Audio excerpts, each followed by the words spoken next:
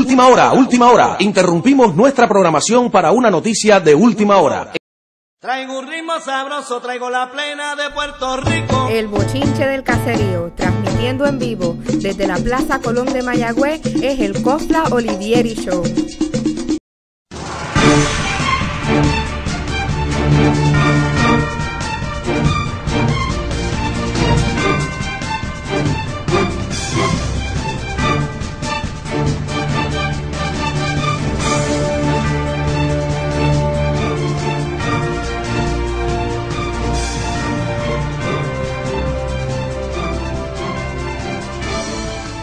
Buenos días, compueblanos. El bochinche del caserío, directamente desde la Plaza Colón de Mayagüez. Bienvenidos.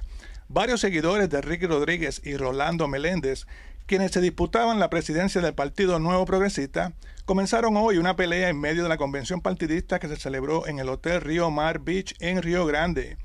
Decenas de jóvenes revoltosos con los sobacos pelús, izando la bandera americana, comenzaron a empujarse, a decirse malas palabras, y lanzaron botellas y pancartas donde se realizaba la reunión del directorio del PNP que encabeza el gobernador de Puerto Rico, Luis Fortuño. En entrevista al gobernador, Fortuño dijo que este tipo de actividad de la juventud del PNP es normal en las asambleas y demuestra la fortaleza del partido y el entusiasmo de la juventud PNP.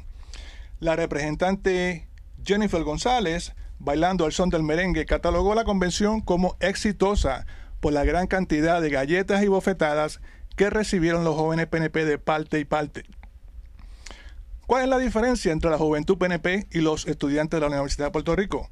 La, juventud del PNP se matan entre ellos mismos para poner una persona en el poder, mientras los estudiantes de la Universidad de Puerto Rico luchan por sus derechos. A diferencia de la manifestación de los estudiantes de la universidad, no se observó oficiales de la seguridad en el lugar.